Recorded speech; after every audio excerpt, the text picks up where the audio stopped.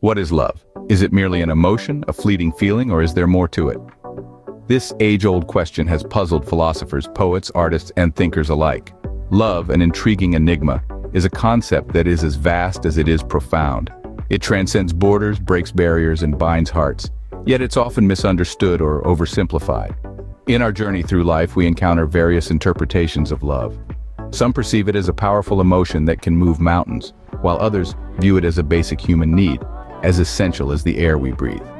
Yet there are others who regard it as a complex mesh of feelings, a concoction of joy, fear, excitement, and sometimes even pain. These perspectives, while valid in their own right, merely scratch the surface of what love truly is. They often focus on the romantic or familial aspect of love, leaving out the broader, more encompassing nature of this profound sentiment. However, in our quest to understand love, we often overlook a vital source that offers a profound and comprehensive definition of love, the Bible. This ancient text, revered and respected by millions around the world, provides an insightful perspective on love, one that goes beyond the surface and delves into the heart of what it truly means to love. In Corinthians 13, 4-7, we come across a description of love that is both profound and enlightening. It paints a picture of love that is patient, kind, devoid of envy, and not boastful. A love that is not proud, does not dishonor others, and is not self-seeking. It speaks of a love that keeps no record of wrongs and never fails. This interpretation of love, as described by Jesus Christ, is both thought-provoking and inspiring. But what does the Bible, specifically Corinthians 13, 4-7 say about love? Let's delve deeper.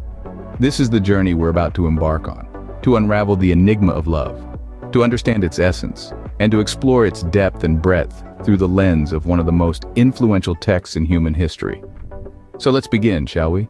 The Bible begins its description of love by saying, love is patient, love is kind. Diving into the depths of these words, we find an ocean of wisdom. Love, in its purest form, is characterized by an enduring patience, it is the kind of patience that weathers all storms, that stands firm in the face of trials and tribulations. It's not a passive waiting, but an active endurance that's laced with hope. It's a patience that doesn't simply grit its teeth and bear it, but one that cherishes, nurtures, and holds on, even when the winds of adversity threaten to rip everything apart. And then, it says, love is kind. It's not just about being nice or polite. This is a kindness that goes beyond the surface that reaches into the heart of another and says, I see you, I value you, and I wish you well. It's a kindness that's willing to step into another's shoes, to understand their feelings, their struggles, their joys. It's a kindness that extends itself even when it's not convenient, even when it's not reciprocated. These are not just feel-good words. They carry a profound truth about the nature of love. They tell us that love is not just a feeling, it's an action. It's a choice to be patient, to be kind, even when it's hard, even when it hurts. And this love, this patient, kind love, is not a human invention. It's a divine gift, a reflection of the very heart of God. For God himself is patient with us, bearing with our weaknesses, our failures, our shortcomings. And God is kind to us, showering us with blessings, even when we don't deserve them. This is the love that we see in Jesus Christ.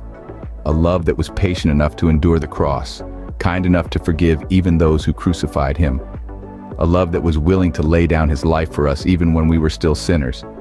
Patience and kindness, therefore, are not mere attributes, they are the very essence of love. Moving further, the verse continues, It does not envy, it does not boast. Now let's delve into these profound words and their implications. Envy and boastfulness, these are traits that breed discontent and rivalry. They fuel comparison, leading us away from appreciating our blessings and focusing on the achievements of others. But you see, Love, as Jesus described it, transcends these negative traits. It fosters a sense of contentment, urging us to find joy in what we have, rather than pining for what others possess. Love refrains from boasting, choosing instead to embody humility. It doesn't seek validation or applause, for it finds satisfaction in its own existence, its own authenticity. Remember, my friends, love is not a race. It's not a competition to outdo others. It's about acceptance, understanding, and humility. It's about celebrating our blessings, not comparing them. Thus, love is not about comparison or competition, but about acceptance and humility. The verse proceeds, it is not proud, it does not dishonor others. These words, though simple, bear a profound truth about the essence of love. Now let's journey together into the depths of these phrases. Pride, as we know, is a sense of one's self-worth, often inflated, and it can be a roadblock in the path of love.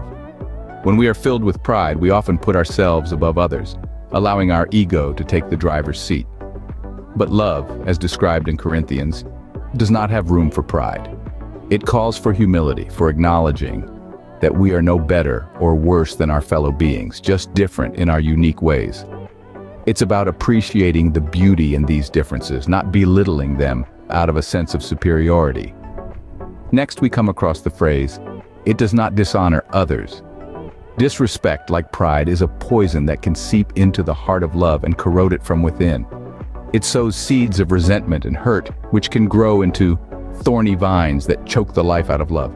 When we dishonor others, we strip them of their dignity, reducing them to mere objects of our disdain. But love, as described by Jesus, does not allow for such transgressions. It is built on a foundation of respect and understanding.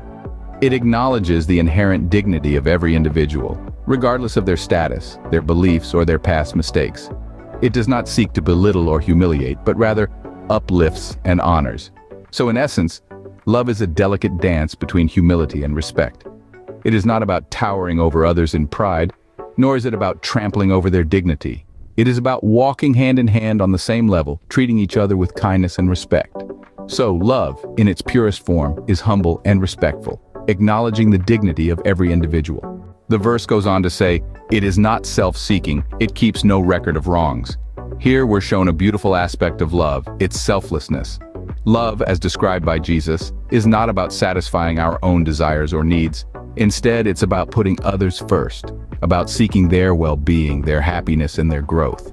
This self-giving nature of love brings us to another facet, its forgiving spirit. Love keeps no record of wrongs. It doesn't hold on to bitterness, resentment, or grudges. Instead, it forgives, it lets go, and it moves forward. It understands that we all are fallible, that we all make mistakes. Love chooses to focus on the good, to build on the positive, and to seek reconciliation. It doesn't dwell on past hurts, but embraces the possibility of a brighter future. True love, then, is not self-centered, but self-giving, and it forgives, holding no grudges. And finally, the verse concludes, love never fails. This is the ultimate testament to the power of love, as described in Corinthians. The enduring and unyielding nature of love is its most remarkable quality. It is not a fleeting emotion or a temporary state of being. Love, in its truest and purest form, is constant, steadfast, and unchanging. Think about it for a moment.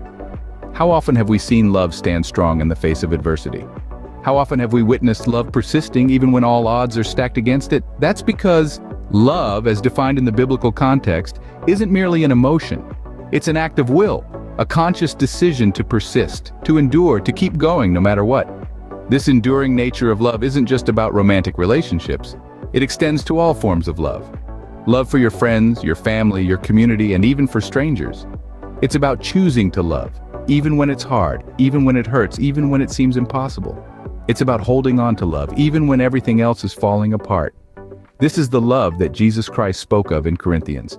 A love that never fails, that never gives up, that never runs out. It's a love that stays even when people leave. A love that heals even when there's pain. A love that gives even when there's nothing left to give. Love, in this sense, is a beacon of hope. It's a light in the darkness, a rock in the storm. It's the one thing that remains even when everything else fades away. Because love, true love, never fails.